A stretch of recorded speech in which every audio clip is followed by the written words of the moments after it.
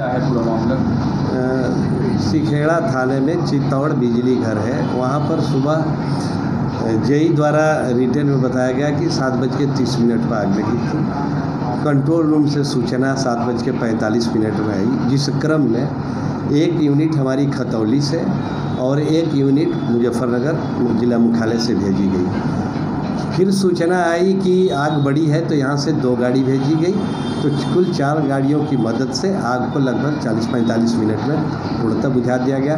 चूँकि ये बहुत बड़ा पाँच एम का ट्रांसफार्मर जिसको इंसुलेटर भी कहते हैं, उसी में आग लगी थी, उसमें तेल भरा रहता है और तेल की आग पर फोम ही यूज़ हम करते हैं, पानी का उपयोग कम रहता है। तो फोम की सहायता से आग को पूर्ण रूप से बुझा लिया गया है लेकिन जो इनका बड़ा फाइव एम का ट्रांसफार्मर था वो जल गया है और उसमें जो तेल भरा रहता है वो भी जल के ख़राब हो गया है हीट होकर अन्य कोई नुकसान नहीं हुआ है केवल बड़ा वाला ट्रांसफार्मर ही जला है। कोई कैजुअल्टी भी नहीं हुई है और चूँकि फायर स्टेशन या खतौली दोनों जगह से गाड़ी समय से पहुँच गई इसलिए उसको कंट्रोल कर लिया आग का कारण क्या माना जा रहा था? आग का कारण वो तार गिरना बता रहे थे जई कि ऊपर से तार गया है वही तार गिर गया।